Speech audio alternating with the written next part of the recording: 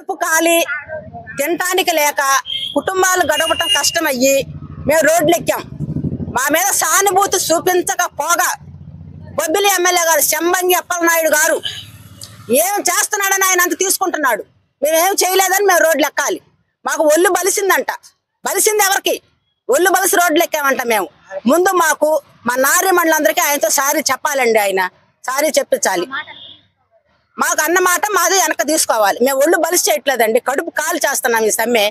కడుపు కాలు చేస్తున్నాం. మాకు ఇచ్చిన మాట మాకు ఇచ్చారు కాబట్టి హామీ ఇచ్చారు కనుక ఎవరికి ఓటేసిన తర్వాత సంగతి. ఇవాళ ఇవాళ వస్తారు రేపు ఇంకొకళ్ళు వస్తారు. ఓటు విషయం మేము మాట్లాడం అంతేగాని మాకు ఇచ్చిన హామీ నెరవేర్చుకోవాలండి. నెరవేర్చుకునే వరకు మేము ఈ సమ్మె నిరవధిక సమ్మె ఇలాగే నిరా సాగిస్తాం. సుప్రీంకోర్టు మాకు సానుకూలంగా స్పందించింది.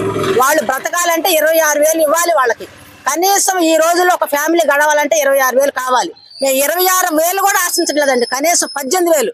కాకపోతే పదిహేను వేలు.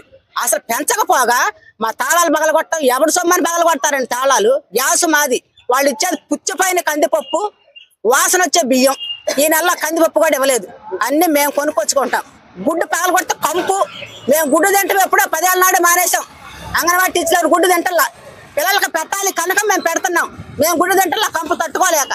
అందుకని సార్ మా డిమాండ్లు నెరవేరే వరకు మేము నిరవధిక సమ్మె కొనసాగిస్తాము. మాకు మద్దతు ఇచ్చినందుకు మీ అందరికీ మా ధన్యవాదాలు.